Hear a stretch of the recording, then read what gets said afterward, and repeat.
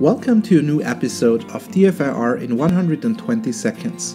Today's topic is another artifact that indicates execution of a file, the user assist key. The user assist keys are stored in a registry and keep track of GUI based programs usually executed as a child of Explorer.exe. In other words, things you execute from a command shell won't show up there. The keys exist to propagate the Windows launcher.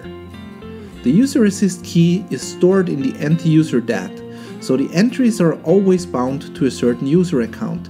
The exact location in the registry is NTUSER.DAT, software, Microsoft, Windows, current version, Explorer, user assist.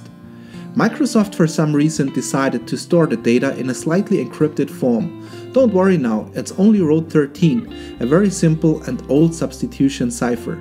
In addition to the ciphered file name, Microsoft also stores the number of executions, focus time, last execution date and time for the executable.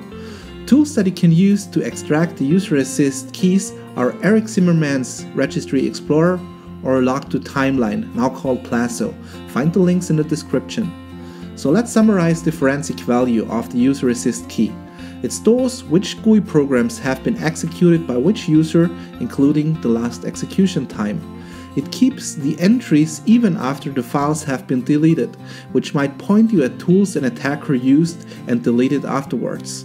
It's stored in the NTUSER.DAT, which means it might roam with the user, thus surviving a hardware change or restaging of the machine. I hope you enjoyed this episode of DFIR in 120 seconds. See you next time when I talk about prefetch.